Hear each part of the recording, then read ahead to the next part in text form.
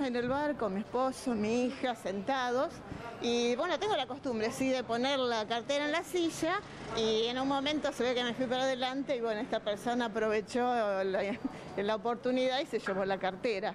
No era una persona habitual del lugar porque yo averigüé, enseguida las cámaras me las dieron, viste de lo que había sucedido.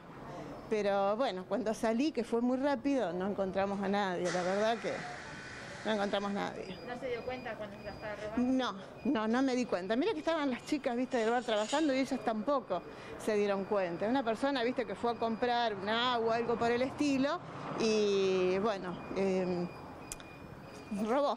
Sí, oportunista. Yo la verdad que lo puse en las redes y todo porque yo creo que no tenemos que naturalizar este tipo de hechos, sino que los tenemos claros, los tenemos que denunciar por todos lados.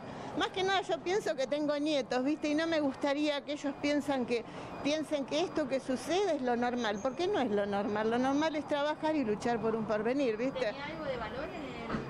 Sí, tenía dinero porque tenía que pagar cosas, todas las tarjetas, carne de jubilado, carne de conducir, documento, todo. todo lo que uno lleva, viste, encima siempre, las llaves. No recuperó Eh, nada. Nada, no, no recuperé nada.